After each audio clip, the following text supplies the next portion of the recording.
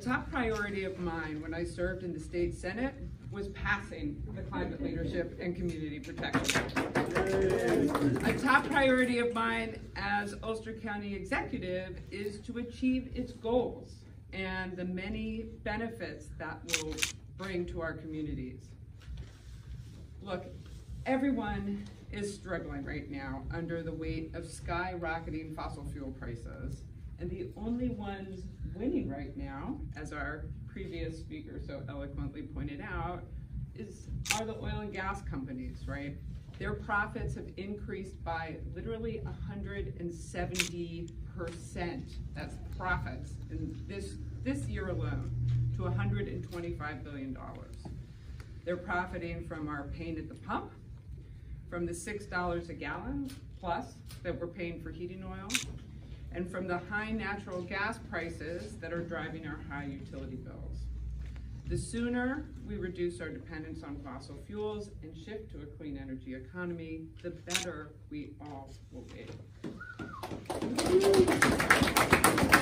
I see just enormous opportunities for Ulster County in meeting the goals of New York's Climate Act and shifting to a clean energy economy.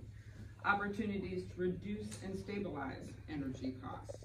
Opportunities to create thousands of well-paying jobs. Opportunities to improve public health by eliminating all of those other nasty pollutants that cause diseases like asthma, especially in disadvantaged communities opportunities to keep more of our sp energy spending locally in our economy. Right now, over half of what we spend on energy leaves the state, primarily to pay for fossil fuels. And really importantly, the opportunity to make sure we are developing in a sustainable way that leaves no one behind.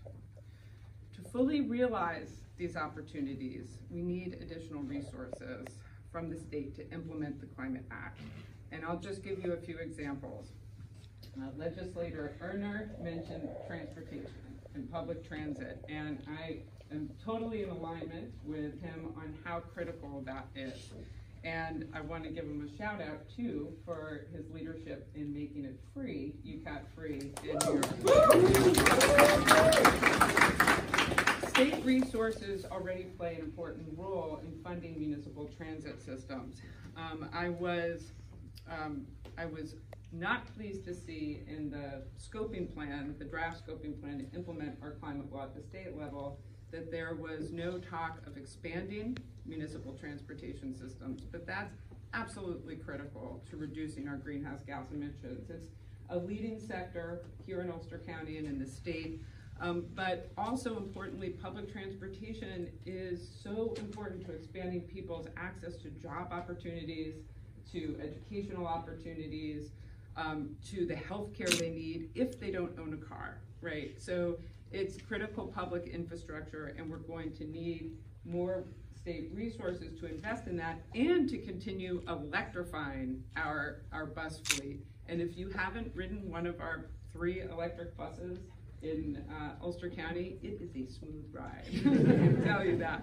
But we have to continue along that path to a zero emissions fleet.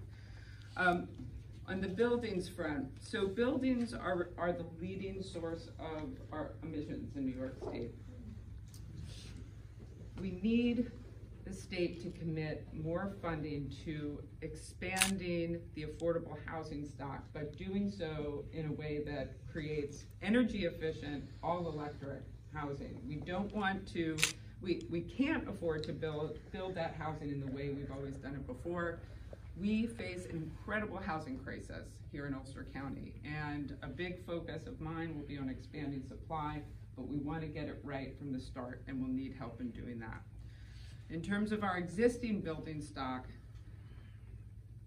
we just, we need more resources to support our residents and small businesses in retrofitting their buildings and weatherizing their buildings. And this is especially the case for low income, moderate income, fixed income households who pay, who are suffering with a disproportionate burden of energy costs and are least able to make the investments to reduce those costs in their buildings.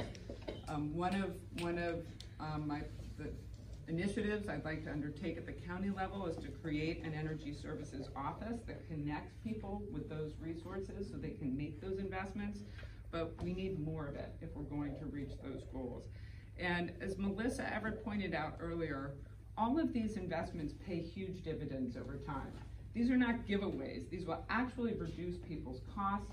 They will, they will reduce public costs by improving public health. So it's all positive investments. Um, there are many other examples I could list, um, and, but we have a big program. So I just want to close on what is a really critical point. The revenue raised to fund the Climate Act cannot burden our residents and small businesses. It absolutely has to be done fairly. And a good place to start is to end the $330 million annual giveaway to the fossil fuel industry. Eliminate the, the, the subsidies that we're currently giving them. Direct that in investing in clean energy and clean energy investments that will improve um, the health and well-being of our communities and reduce our energy costs. I want to thank New York, New York Renews and encourage you to look at the whole package because their focus is on fair funding of the Climate Act. Thank you very much.